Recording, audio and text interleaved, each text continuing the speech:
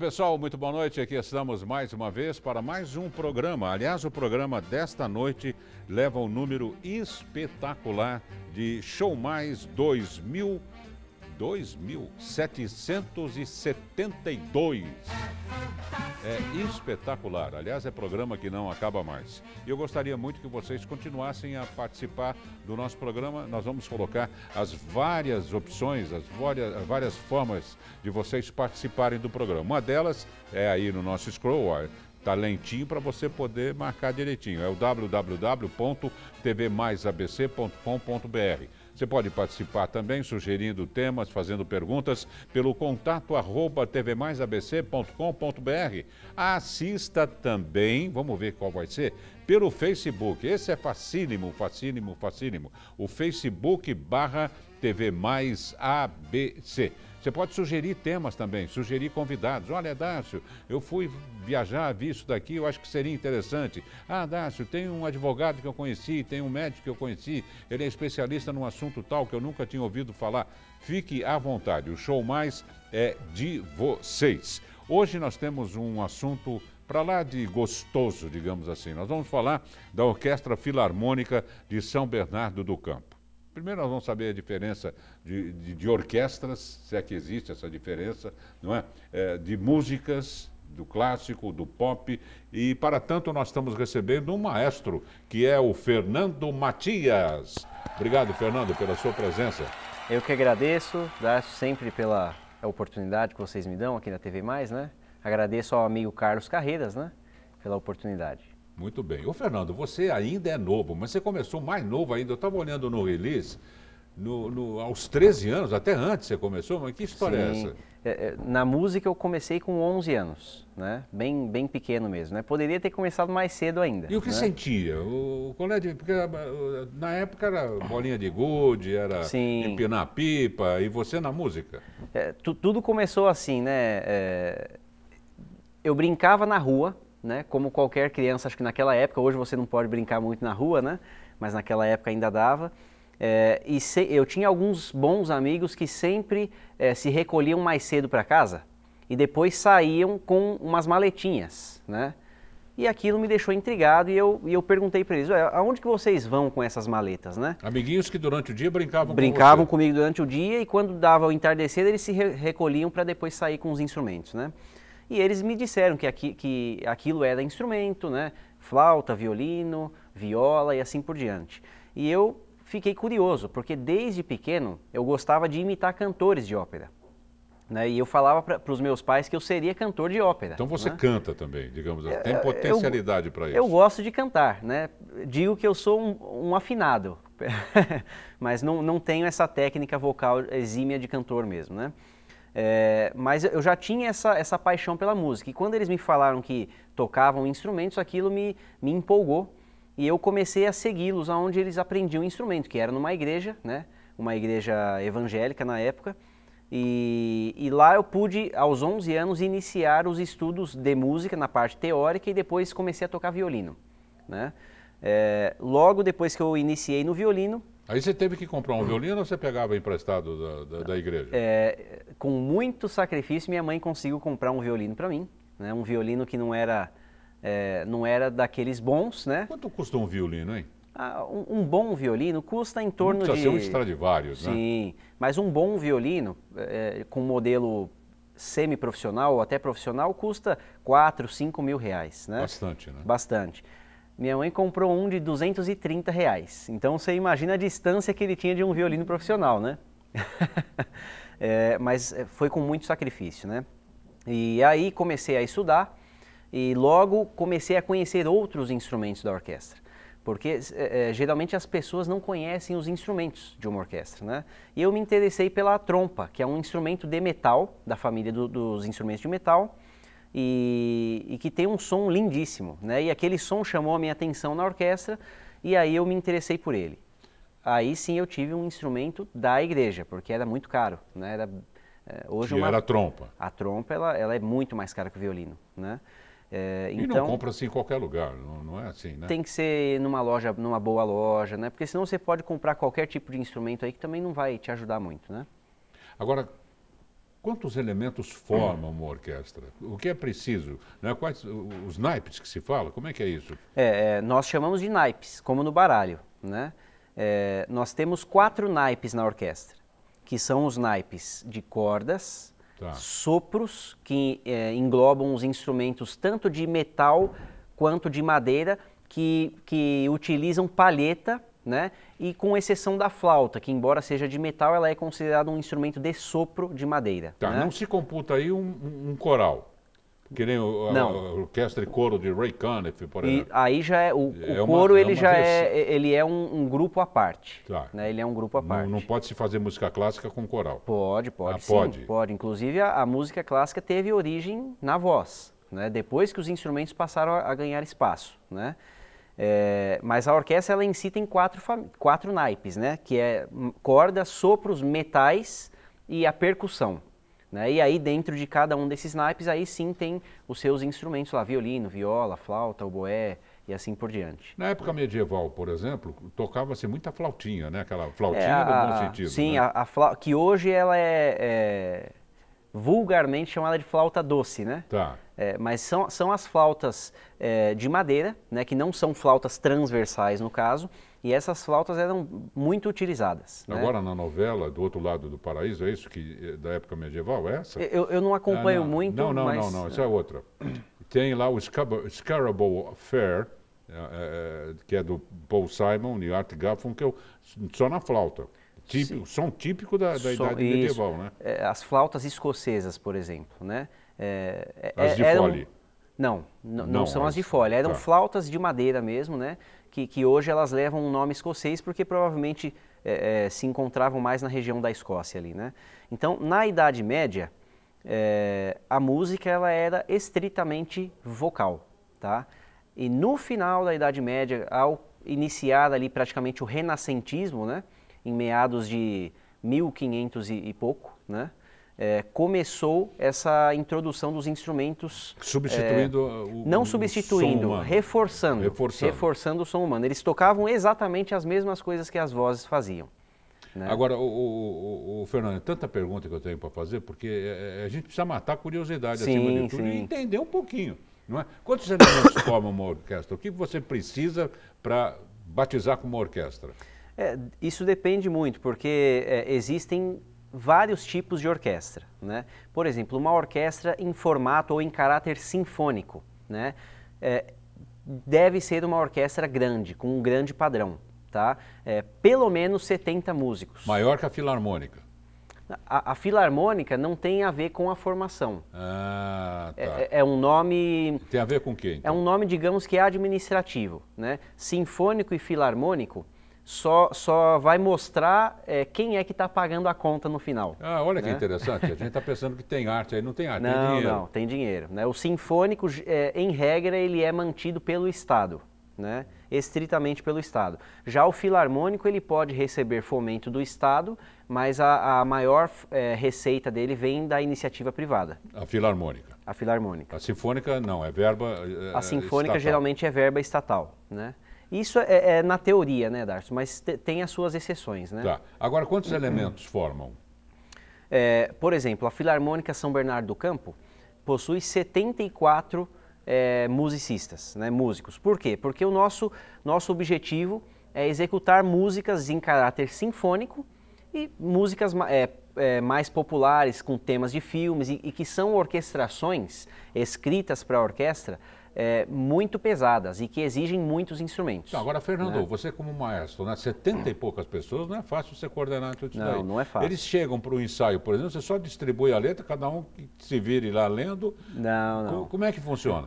É, é, uma orquestra... Vamos fazer o seguinte, você responde depois do comercial? Opa, vamos lá. Vamos com lá, então. certeza. então. Me dá uma letra aí que eu vou cantar um sambinha aqui. já já a gente volta.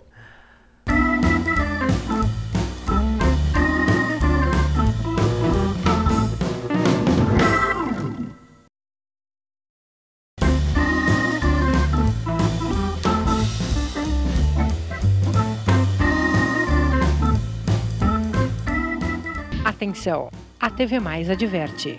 O programa Show Mais causa dependência cultural. Pronto, já estamos de volta com o tema uh, Orquestra Filarmônica de São Bernardo do Campo, recebendo com muito prazer o maestro Fernando Matias. Ô, Fernando, você me permite perguntar a sua idade? Você é novo, né? Eu sou novo, tenho 28 anos. Começou cedo? Comecei aos 13, na regência. Né? Aos 13 anos? Aos 13 anos. Agora, vamos voltar à rotina da orquestra. Eu fico imaginando um local para ensaio e 70 pessoas chegando com as maletinhas, né? É, é. O baterista não leva na, na, na, maleta, né? É, geralmente os instrumentos maiores da orquestra, eles, é, é, eles já são fixos lá dentro do espaço da orquestra mesmo. Então né? ele chega e fala, nós vamos ensaiar essa música aqui, vem pegando, pessoal. Isso, geralmente é, com um pouco mais de antecedência a gente já, já distribui as partituras né, para os músicos e eles já vão é, fazendo todo aquele preparo em suas casas, né? Uma orquestra de, ah, de padrão tá. profissional... Como é que você entrega na casa deles? Um por um? Vai, vai tudo por e-mail. Ah, tudo por, por e-mail, tá, é. certo, tá certo. É, e uma orquestra de formato profissional, né, de caráter profissional, ela, os músicos já chegam prontos no ensaio. Né? Esse hum. é um diferencial, porque como nós temos geralmente de 5 a 7 ensaios para preparar um programa, você não pode ficar resolvendo nos ensaios problemas que você resolveria em Agora, casa. Fernando, né? quando ele está ensaiando sozinho na casa dele, ele vê só o instrumento dele na letra ou, ou ele vê a participação de outros também? Geralmente, é, dependendo da edição da partitura, vem escrito algumas indicações do que outros instrumentos estão fazendo. Né? Isso geralmente nos momentos de pausa, porque uma curiosidade é que os instrumentos não tocam o tempo todo. Né? Tá. Eles tocam em determinados momentos, de acordo com a, com a composição que o, que o compositor fez ali, né? E nos momentos de pausa, para que ele não fique perdido, ele está sabendo que outro instrumento está fazendo. Agora, qual é, qual é a, a, Vamos perguntar, por exemplo, a rotina, né? A rotina da orquestra. É, uma, uma rotina de orquestra. É, por exemplo, nós vamos preparar um programa é, X. Esse programa ele, ele vai ter que ter um número de ensaios. Né? Tá, a letra já foi, já foi por, por e-mail. O departamento de arquivo da orquestra, o departamento de documentação, ele já enviou esse arquivo para os músicos com antecedência. Né? É, obviamente ele procurou uma boa edição desse material, já enviou. Os, os líderes dos naipes já estão fazendo as anotações necessárias nas partituras, principalmente os instrumentistas de cordas. Por quê? Tem os arcos dos instrumentos. E esses arcos, eles não podem ficar des, é, descoordenados. Todos têm que ir na mesma ah, sequência, né? perfeito. Visualmente falando. Visualmente Senão falando. fica uma michórdia lá, um feio. Quen, outro quen. Fica feio. Então a orquestra, ela não é só um áudio, ela não é só auditiva, claro, ela é claro. visual, né? É, e aí, entregue essas partituras, os líderes já tendo feito todas as anotações, agora nós vamos para os ensaios, né? Nos ensaios tem um momento de afinação, tem um momento de intervalo também, porque é, pensa que quando você está tocando, principalmente um instrumento de sopro, por exemplo, você está com a sua musculatura rígida durante uma hora, tocando, tocando, soprando, seu diafragma está trabalhando. Se você fica três horas fazendo isso, é muito exaustivo, né? Então tem um momento de intervalo, tá. né? E nesses ensaios o, o, regente tem um papel fundamental. E você, maestro, tem né? a, a, o cuidado de, de, intercalar também as coisas. Sim, nós temos que saber o que vai ser trabalhado. Né? Por exemplo, no primeiro ensaio, o que, que eu costumo fazer? Eu deixo a orquestra tocar a música do começo ao fim, cheia de, de falhas, de divergências. De, atravessa de, aqui, atravessa Atravessa lá. aqui e ali a gente vai seguindo. Por quê? Mesmo que esses músicos já, já tenham tocado tantas e tantas vezes essas músicas, é, é bom, o grupo em si precisa ir para frente. Né? Depois nós vamos aparando, é, cortando as rebarbas e, e, e, trabalhando essa música. É como um time de futebol. Uhum. Né? Você joga, faz aquele coletivo, depois você vai começar a trabalhar. Cobrança de falta, pênaltis, né? defesas e barreira e assim você por diante. Você citou né? muito bem um, um, time de futebol e o treino. O time de futebol tem o banco de reserva. Vocês têm também? Também tem o banco de reserva. Né? Determinadas músicas não exigem todos os instrumentos que tem na orquestra. Por exemplo, nós temos pianista na orquestra, só que a pianista não toca em todos os concertos, em todos os programas, né? É, por exemplo, agora nós vamos fazer o Requiem de Mozart, né? que é uma, uma missa, é, uma missa toda é, cantada e tocada, né? uma missa musicada. Aí já entra um coral, então? Aí tem um coral. Que Quantos não é da elementos? orquestra. Ah, é, é um- é- é um grupo atrelado à orquestra. Tá. Quantos elementos tem no coral? O, o coral a tempo, que é o coral que, que vai estar fazendo essa parceria com a orquestra, ele tem 60 eh, componentes. 60, 60 componentes. componentes. Homens e mulheres, qual, qual é a distribuição? É, geralmente mais mulheres do que homens. né? As vozes mais agudas geralmente é em maior número. né? A- Oh, geralmente essa é a, é a E distribuição. quando, quan- não há um choque, por exemplo, no ensaio entre a orquestra e o coral? Ambos ensaiam separadamente, né? depois, nos últimos ensaios, eles se juntam para resolver os problemas é, em comum. O coral todos, né? não lê partitura, ou lê, tá? alguns leem. Os, cora- os corais profissionais, eles, sim, eles leem partitura, até porque o- os coristas eles são remunerados, eles são pagos profissionais para executar aquele tipo de serviço. né? Eu posso citar alguns coros aqui, né? o coral da OSESP, por exemplo, que é a Orquestra do Estado de São Paulo. Esse coral ele tem atividades diárias, todos os dias da semana. Então é um coro profissional. É exigência que todos os cantores saibam ler partitura. Olha, olha, gente, que interessante, né? É um mundo totalmente à parte, onde pululam Sim. centenas de pessoas. Porque, além disso, não é? tem, tem a- a- aqueles que trabalham ao redor de tudo isso, né? Tem, eh, nós chamamos de staffs, né? Tem os staffs, né? Eh, geralmente não é em pouco número também, porque tem que ter arquivista, tem que ter inspetor para ver como que está a questão de, de assiduidade do- dos músicos, né? Se estão chegando na hora, se não estão chegando, se estão cumprindo com os horários de intervalo e assim por diante, né? Eh, tem os Tem montadores. livro ponto? Como é que funciona? Tem livro ponto, tem os montadores, Ah, tá né? vendo? Não é, não é assim, não. É. Chega com a flauta... É porque uma vez que a gente lida com, com dinheiro, com recurso, né, de, é, não importando de onde vem esse recurso, esse recurso ele tem que ser trabalhado de forma justa e honesta. Com né? certeza. Então nós temos que, por exemplo, se um músico faltou ao ensaio, ele não pode receber como um músico que não faltou. Porque senão você gera uma discórdia Olha, dentro do claro. próprio grupo. Né? Agora, Fernando, todo, todo município tem uma, uma, uma orquestra filarmônica? Deveria. Mas Todo- não, não, não, não. não tem. Não tem. É, o nosso país ainda é um país que não investe nesse tipo de, de cultura, embora seja um, um grande consumidor dessa cultura. Aqui na É. nossa região, quantas nós temos? Nós temos a Orquestra de Santo André, Filarmônica de Santo André? é, é sinfônica, ela é mantida pela Prefeitura de Santo André, Sinfônica. sinfônica. Maior ainda, ou não? Ela tem 85 músicos, se eu não me engano. Né? São 85 músicos. É, e ela, sim, é toda mantida pela Prefeitura, então o nome sinfônico se encaixa bem para ela. Né? São Caetano. São Caetano já teve uma orquestra filarmônica que era, era mantida também pela prefeitura, embora tivesse o nome filarmônico. E os demais municípios da região? É, São Bernardo hoje tem a orquestra filarmônica, embora não seja a orquestra oficial da cidade, né? Ela é uma orquestra de caráter profissional que, que é Subvencionada fomentada, por- por subvencionada patrocinadores. por patrocinadores, isso aí. É, Diadema, hoje eu acredito que tem uma banda funcionando em Diadema, né? É, Mauá, penso eu que não tem Banda mais. é é outra característica. Banda já é uma outra formação. É uma formação de instrumentos de sopro com percussão. Então não, entram, não não- entra violino, não E entra Toca viola. música clássica ou toca? É, em média toca também, mas eles dão mais ênfase à música popular. né? Tá. Com uma E- batida diferente, uma batida de banda, né? É, é- é que não é, por exemplo, como uma banda de rock.